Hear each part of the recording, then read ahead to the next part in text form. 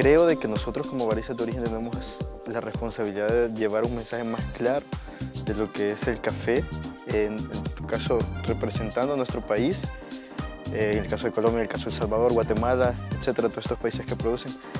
Creo que lo que tenemos que hacer es como levantar un estandarte ¿verdad? De, de lo que nosotros producimos y qué tan bueno es el café que nosotros producimos y enseñárselo al mundo.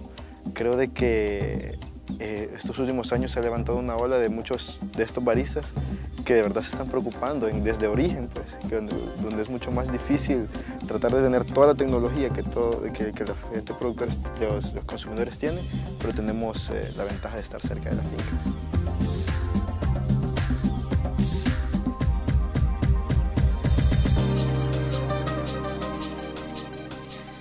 Creo que la barrera más grande es la barrera del idioma. Eh, siempre, ha, siempre ha formado como, eh, como una, dificultad para, para, todos los baristas eh, que yo conozco de países productores porque por lo general las personas que somos baristas venimos de, desde muy abajo, entonces la educación no es la, la mejor y casi siempre el inglés forma parte de una de esas dificultades que nosotros tenemos en el camino yo creo que hasta que no se borde del todo esa dificultad no vamos a poder del todo avanzar.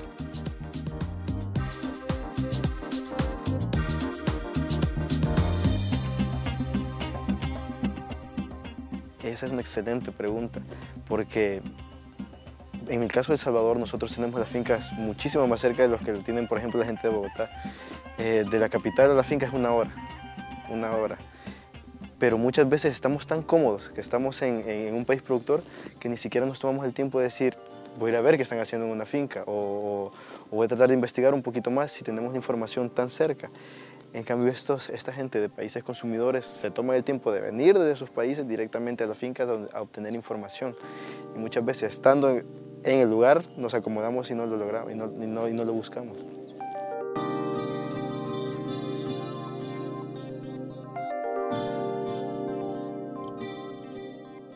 Pues la pasión creo que es lo más importante que nosotros podemos denotar eh, en este tipo de competiciones o en, la vida diaria.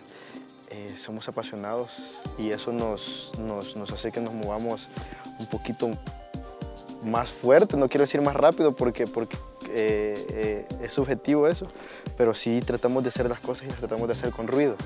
Entonces eso, eso genera expectativa y creo de que eso nos ayuda también a aprender en el camino.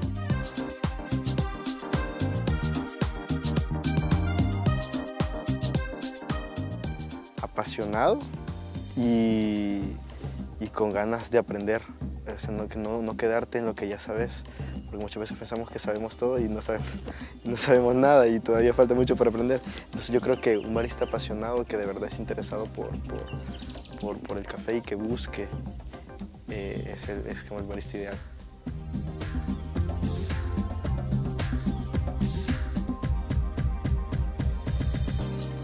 Pues muchísimo. Cada vez que visito una finca o que conozco a alguna persona o que leo algo nuevo, siento de que eh, no sé nada. Entonces yo creo que el aprendizaje no se detiene simplemente en, llegar o alcanzar una meta o alcanzar un, puesto importante, sino que ahí es donde empieza todo. Y pues de lo que más me gustaría aprender es muchas cosas de tecnología y de todo esto, que, que es como otra de las cosas que me apasionan acerca del café y pues estar mucho más de cerca de las fincas.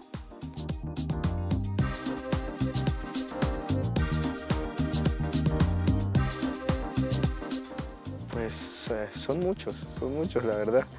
Y creo que uno de ellos es eh, poder tener un patrimonio como un café, un mini café, pero eso ya es muy aparte de, los proyectos que tengo ahora. Tengo muchos proyectos en camino, pero creo de que un sueño sería de que los países productores fueran más representativos en este tipo de competencias.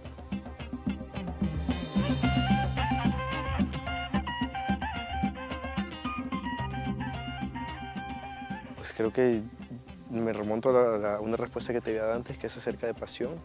Si tú no tienes pasión por lo que estás haciendo, eh, creo que va a ser muy difícil transmitir que algo, que algo es bueno, porque eh, para poder digamos, vender un producto, tú tenés que conocerlo y tenés que apasionarte de él y, y buscar y saber todo acerca de él. Si no lo haces, es muy difícil de que vos transmitas esa, esa, esa pasión y que, y que, el cliente o que la gente en general de verdad crea en lo que, en lo que tú estás diciendo.